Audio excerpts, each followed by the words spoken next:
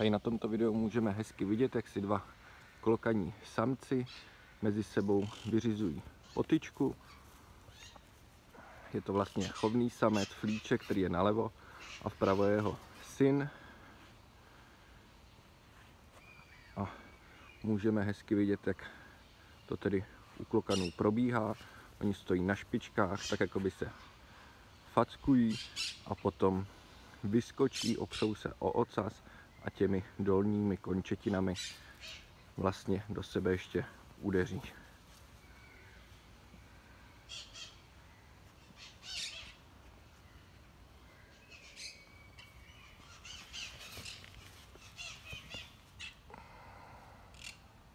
Oba dva samci si své problémy vyřešili.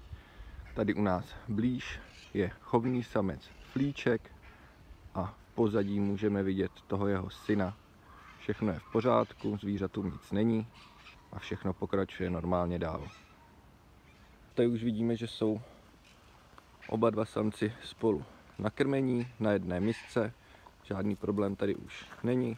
Ještě můžeme překontrolovat ten zdravotní stav, jestli se tam něco nestalo, ale mělo by být všechno v pořádku. Oh.